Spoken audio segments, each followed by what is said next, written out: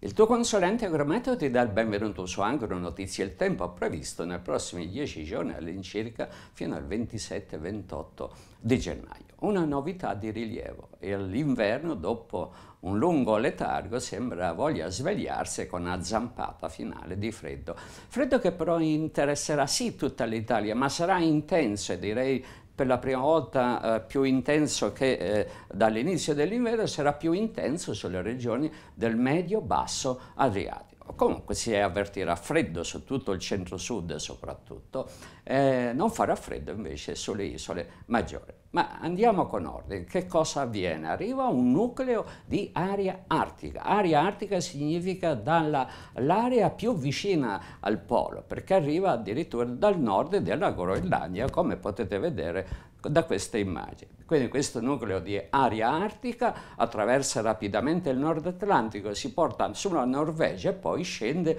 fino ai Balcani e da qui poi il 21 riromperà sulle regioni adriatiche e soprattutto sulle regioni centro-meridionali, ma interessando, come dicevo, soprattutto il medio-basso adriatico. Allora, vediamo quali eh, fenomeni porterà. Innanzitutto saranno due ondate di freddo. La prima ondata, appunto, questo primo nucleo di aria artica che arriva fino ai Balcani e poi sulle regioni adriatiche, ma il vortice, il ciclone che contiene questo nucleo freddo, tra il 24 e il 25 si avvicinerà ancora più alle regioni eh, del medio-basso adriatico, dando luogo eh, tra il 24 e il 26 a una seconda più intensa intensa ondata di freddo. Ma andiamo con ordine. Le piogge, sì, ci saranno piogge deboli, molto deboli. Piogge il giorno 20 su Emilia, Romagna, regioni tirreniche e tra il 21 e il 24 piogge qua e là deboli al sud. Ci saranno nevicate? Sì, ci saranno anche nevicate fino a quote molto basse, ma essendo l'aria molto fredda, addirittura a temperature di 8-10 gradi sotto zero, la quota di 1500 metri, come è noto l'aria molto fredda eh, contiene poco vapore, quindi le nevicate a cui darà luogo quest'aria fredda saranno piuttosto deboli, più coreografiche che realmente eh, visibili. Il 21, eh, venerdì 21 appunto nevicate su Abruzzo Molise oltre 400-600 metri con un accumulo inferiore a 5 cm, nevicate sulla Calabria oltre 800 mm.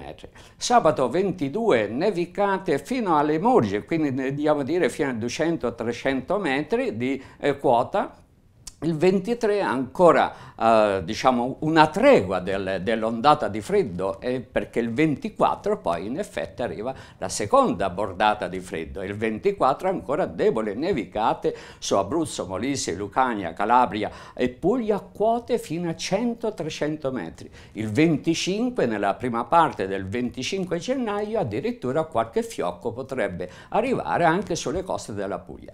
Ripeto queste nevicate saranno piuttosto deboli debole. Insisteranno anche tra il 26 e il 28 ancora qualche debole nevicata su Abruzzo, Molise, Campania, Lucania, Calabria, ma sempre con accumuli quasi, eh, diciamo, modestissimi, cioè intendo dire senz'altro sotto 5 centimetri. Per quanto riguarda le temperature, ovviamente ci sarà un crollo termico al centro-sud delle regioni adriatiche tra il 21 e il 22 e un calo delle temperature massime che da 10-12 gradi passeranno a 5, 6, 7 gradi, soprattutto sulle regioni del medio adriatico, sulla Puglia, sulla Lucania, sulla Calabria. Il 23 tregua tra il primo nucleo d'aria fredda e il secondo, il 24 e 25 di gennaio nuovo crollo termico per il vortice freddo che si avvicina all'Italia, quindi freddo al centro-sud, il freddo si avvertirà insomma tra il 20 e il 27 di gennaio, soprattutto al centro-sud, sia per il calo termico, sia per i gelidi venti in arrivo di, da Balcani che saranno o di Bora o di Grecale e molto più spesso di Tramontana. Giovedì 20 ci sarà un evento di FEN sulle regioni di nord-ovest, freddo moderato invece per quanto riguarda tutto questo periodo sul nord Italia, eh, basso Tirreno, regioni ioniche. Non farà freddo sulle isole maggiori. Termino qui, un caro saluto ancora da Mario Giuliacci.